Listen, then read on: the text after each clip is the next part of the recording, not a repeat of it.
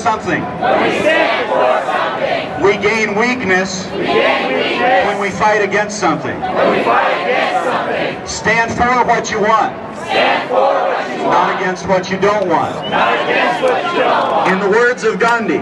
In the words of Gandhi. First they ignore you. First they ignore you. Then they ridicule you. Then they ridicule you. Then they fight against you. Then they fight against you. Then they lose. Then they lose.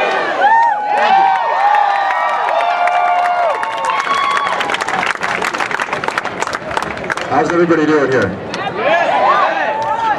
Hot. Mic check. Mic check. The United States, United States, right now, right now, has the world's largest prison population. has the world's largest prison population. Comfortable. Right now, Right now, the United States United States is spending around 60% 60% of the federal budget You stop. On militarization. on militarization. Right now, Right now, in the United States, in the United States, just 400 people just 400 people have as much wealth have as much wealth as the bottom half of the United States. as the bottom half of the United States. That's all I have to say. Thank you. So a few skills, we can do it like this. So we do it like this. You can show agreement by going like this. You can show agreement by going like this. You can say eh by going like this. Yeah, going like this. You can say you disagree by going like this. You can say you disagree by going like this. You can say you block a decision by going like this. You can say you block this and going like this. That's how we can all make decisions together quickly. And that's how we can all make decisions together quickly. We have a little bit of patience. Have a little bit of patience. Thank you. Mic check! Mic check. Mic check! Mic check. The Roman Empire Roman Empire tried to appease its people tried to appease people with bread and circuses. with bread and circuses. The American corporations The American corporations have tried to appease us have tried to appease us with food stamps and television. with food stamps and television. Bread and circuses. Bread and circuses. Pawn and circuses.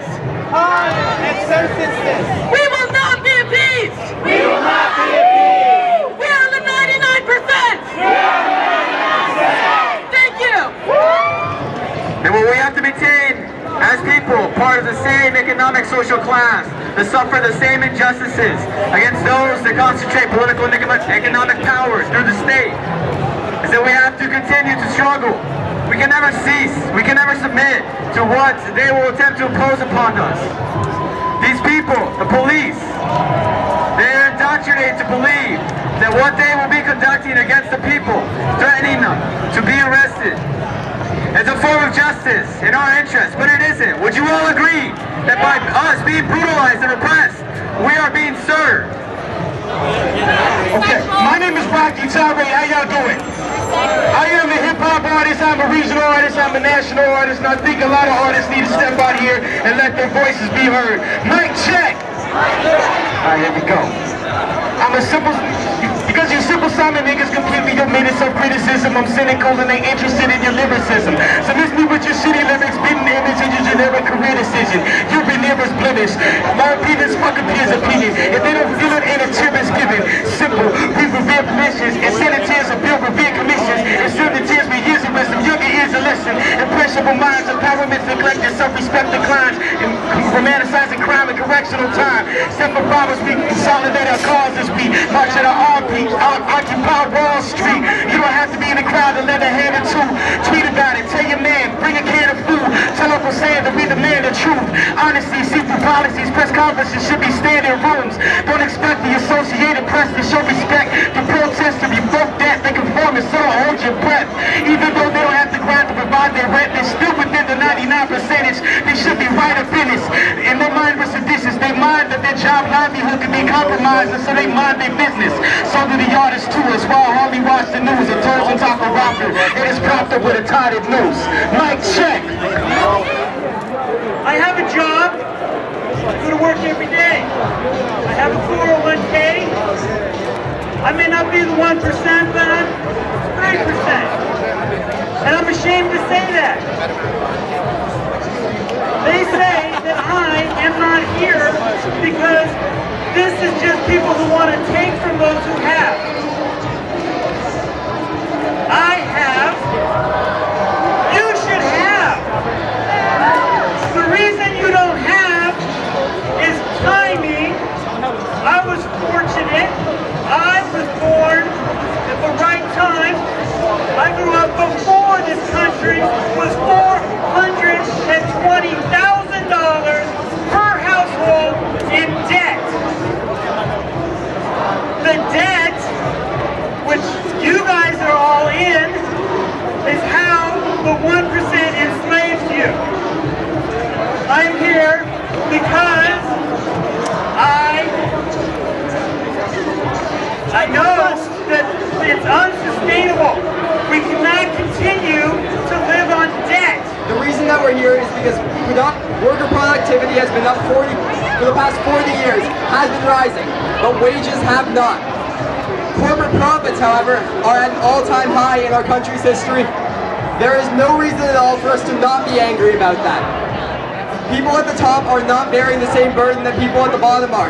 And they continue and continue to complain about class warfare. But it's only class warfare when we bring it against them. I'm a mother of five. I love my kids to death. But it worries me about how I'm going to provide for these kids over the years. My husband died of cancer almost three years ago. He left me no help, no um, insurance. I'm at the mercy of Social Security to raise my kids. It doesn't even make enough to pay the bills, the mortgage, or the food. So I want to know why Bank of New York won't work with me. This is, if it's not a hardship to lose your husband, lose your food, on top of that have an autistic son that can't receive services, what is this world coming to? I am an angry protester, but in a righteous way.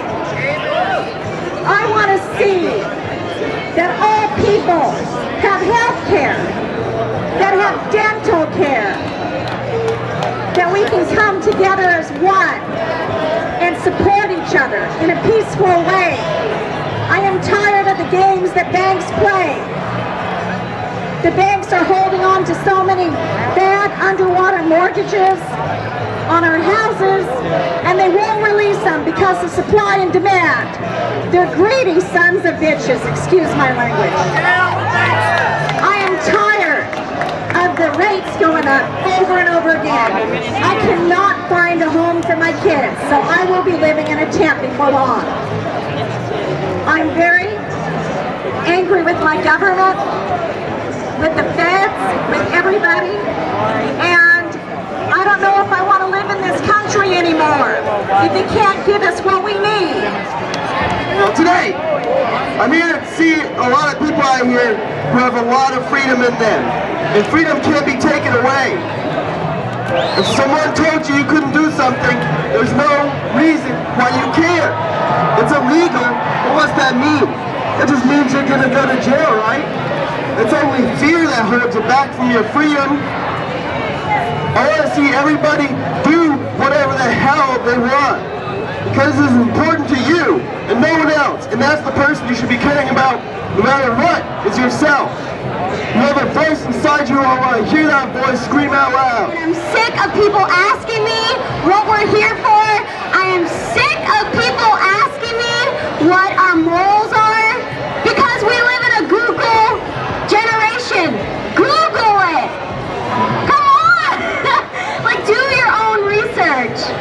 Also, I have to ask what you think the next coming up election is going to be like. I say that both candidates are either going to use Occupy the group to work for them and get our votes, or they're going to use it against their votes.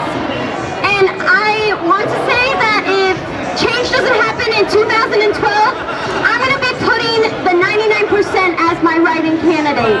The 99% for the president of 2012. Oil companies made $500 billion in what's it called, Reneview this year, and they paid 0% in uh, government taxes. The thing is, they're charging taxes from people who make $14,000 a year, $10,000 a year, and they're screwing us over. I want, when I grow up, I want to be able to, what's it called, take Social Security. I want to be have health care. I want my children to go to public school that's not 32 and 32nd place in math and science. I want our country to stop messing around, intervening in business that's not ours. Iraq and Afghanistan is not our business. Giving what's it called aid to Haiti and all these other countries is not our business. Our business is giving money to the public libraries so they can stay open longer, giving money to our public schools so they can have more teachers, better classrooms, more technology, more funds. How come our great government, the greatest country in the world, is 32nd place in math and science? To all you young people out there, I was your age during the civil rights movement. I was your age during the women's rights movement. I was your age during the environmental rights movement. And I was your age during the Vietnam War. And there's one thing I learned. None of those movements started and none of those movements succeeded because politicians called for action. All of those movements started and all of those movements succeeded because it's what the people demanded. Eventually, some politicians got in front of the movements to take credit, but it happened because of the people. People can make things happen. If you look back, the last time we had a major populist movement in this country was in the 1930s. It didn't happen quickly, and this won't happen quickly. It's not going to be one month. It's probably not going to be one year. It took three or four years in the 1930s to get us out of the Depression with the New Deal. But it changed the way this country looked at its fellow people. And we can make this happen if we hang in there, if we keep the vision in front of us and if we all do our part, we can change whatever we want to change in this country.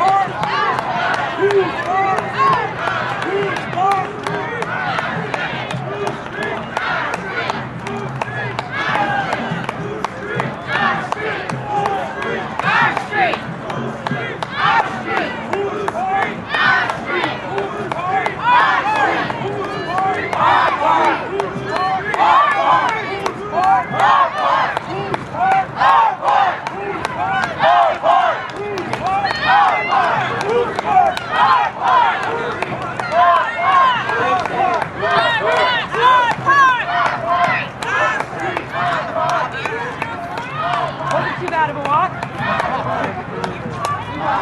Keep hard hard. Who's hard? Hard hard. Who's hard? Hard hard. Who's hard? Hard.